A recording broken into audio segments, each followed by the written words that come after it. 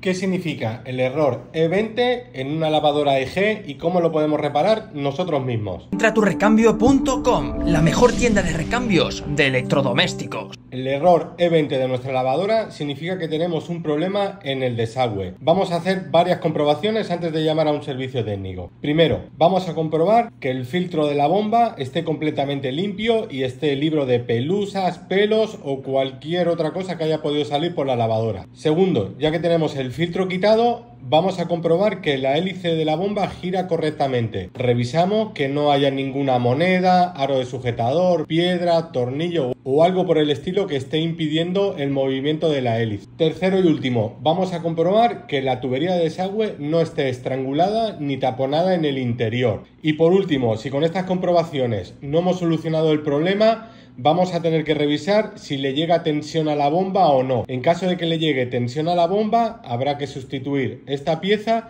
y en caso que no le llegue tensión a la bomba, vamos a comprobar su cableado y el módulo electrónico. Y esto es todo. Cualquier duda estamos en los comentarios. Si necesitas un recambio, encuentra tu recambio.com. Nos vemos en otro vídeo.